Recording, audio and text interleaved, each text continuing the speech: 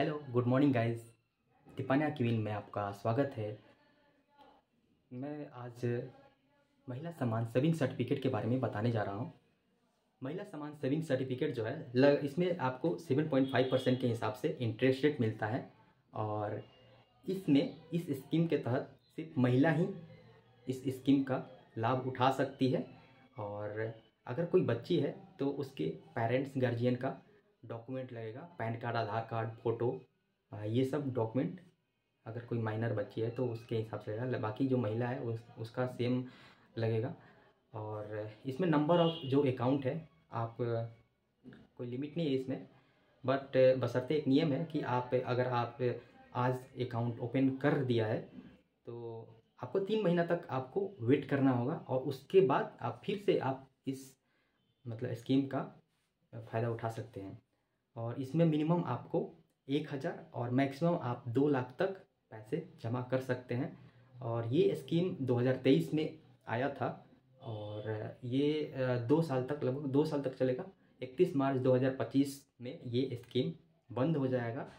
और इस स्कीम के तहत आपका जो मैच्योरिटी पीरियड है, दो साल का है तो इस मैच्योरिटी पीरियड में आपको सेवन पॉइंट फाइव परसेंट के हिसाब से इंटरेस्ट रेट मिलेगा।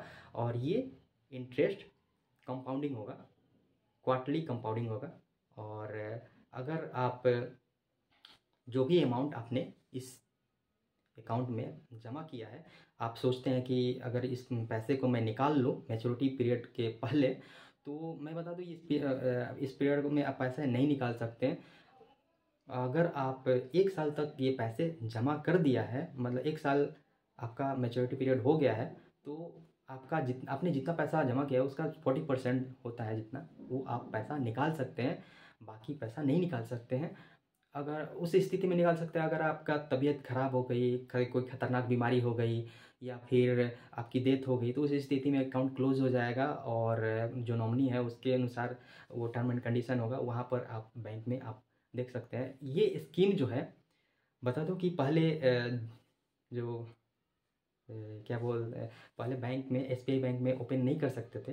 पहले आप पोस्ट ऑफ़िस में ही ओपन कर सकते थे। बट अभी आप Yes bank PNB bank Union bank bank of India bank of Baroda में आप ये स्कीम को ओपन करवा सकते हैं। अगर आप जो बैंक मैंने अभी ये सब जो बैंक मैंने बोला है, इस बैंक में अगर आपका अकाउंट है तो आप, इस स्कीम में अपना अकाउंट ओपन करवा सकते हैं।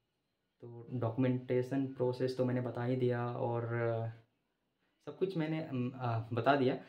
अगर आपको फिर भी अगर कुछ लग रहा है कि कुछ बचा हुआ है तो आप अगर आप अकाउंट ओपन कर रहे हैं तो वहाँ पर आप जाकर टर्म एंड कंडीशन देख लीजिएगा अपने हिसाब से। अगर आपको लग रहा है कि कुछ जानकारी और बची हुई है तो आप कमेंट सेक्शन में ही बता सकते तो ये मैं मुझ, मेरे को भी एक्स्ट्रा जानकारी मिल जाएगी बट मेरे हिसाब से मैंने बता दिया है। तो मिलते हैं नेक्स्ट वीडियो में गाइज़ तब तक के लिए धन्यवाद। Thank you guys thank you so much